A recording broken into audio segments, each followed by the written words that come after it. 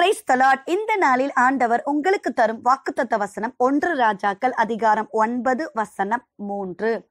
நீ என் சமூகத்தில் செய்த உன் விண்ணப்பத்தையும் உன் வேண்டுதலையும் கேட்டேன்.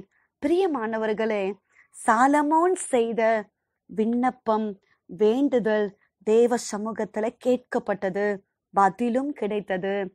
நீங்கள் ஆண்டவுடைய சமூகத்துல ஏதோ ஒரு காரியத்தை குறித்து விண்ணப்பம் செய்து கொண்டிருக்கிறீங்க வேண்டுதல் செய்து கொண்டிருக்கிறீங்க கர்த்தர் கேட்டு சீக்கிரத்துல அற்புதத்தை செய்ய போகிறார். காட் பிளஸ் யூ கர்த்ததாமை உங்களை ஆசிர்வதிப்பாராக.